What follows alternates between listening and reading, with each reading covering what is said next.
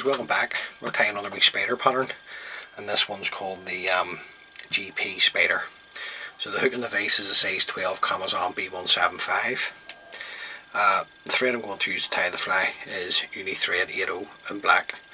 So we'll just come in and get the thread started behind the eye of the hook. I'm just going to run my thread down as you always do down past the point of the hook and remove the waste tag of thread. Now the tail on the fly is GP um, tippet fibres. You can use natural, uh, you can use dyed orange. Um, in this case I'm going to use this, this is dyed yellow. Um, I do have dyed orange there. We'll just in the yellow for you. I've had this sitting out. Now you only want a, a slim bunch of these type of fibres. You don't want to be overdressing these wee flies. You just want this sort of way around about the length of the body. A couple of turns just to catch that in. And then come in and trim away the waste tag of the GP tippet fibres. Now the rib is going to be the you need French oval silver tinsel and extra small or you can use silver wire.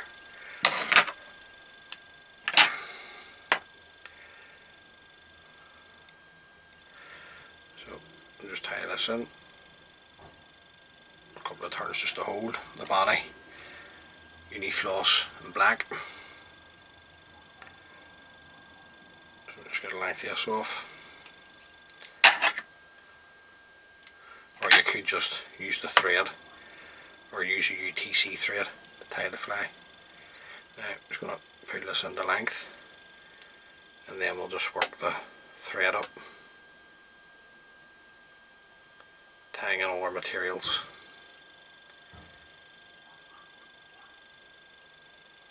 Make the whole way right up to the eye and then just bring it back down again into position. Then we can bring up our body material, which is our black floss. I'm just stretching this out as we go, just to flatten up, up the body. Touching turns. Follow this around with your thread. A couple of turns will catch that in. Come in and trim away the excess. You'll bring up your rib and you're looking four turns. Up the body to there fly this around with my thread. A couple of tight turns to secure that in. Come in. And trim away the oval silver tinsel. Now the head hackle or the hackle. You're just looking at a light furnace hen and this is just a, a whiting cape that I'm using. So just going to stroke back the fibres just to reveal the tip. Just offer this up to the hook. Catch it in, a couple of turns, fold the tip back, couple of turns back up over the tip on the hackle. I'm just going to level this a wee bit here, the head. Then come in and break away your tip And you're probably looking anywhere between a turn, turn and a half and two turns of the hackle will do nicely. That's one. Right, let's put another one in. That's two. And then we'll just come around with our thread, catch in the hackle, a couple of tight turns, I'm going to fold the, the stem back, so I'm just going to strip off the fibres just to reduce the bulk. Fold the stem back and bring your thread from the eye up over the stem of the hackle nice and tight keeping your thread tight. You can break away the tip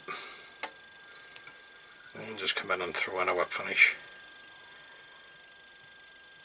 Now this is like the other wee spider pattern tag for the channel. These wee flies will work well both on the rivers and the lochs even on still waters, reservoirs.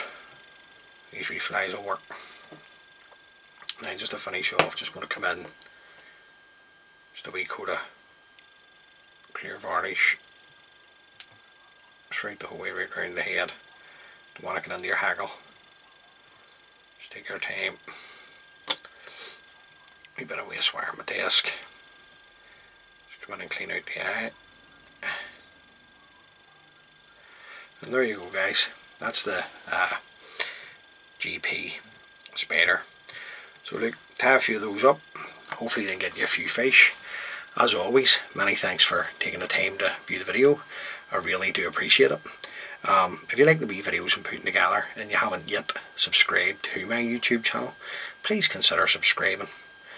Um, and until next time, stay safe and tight lines folks.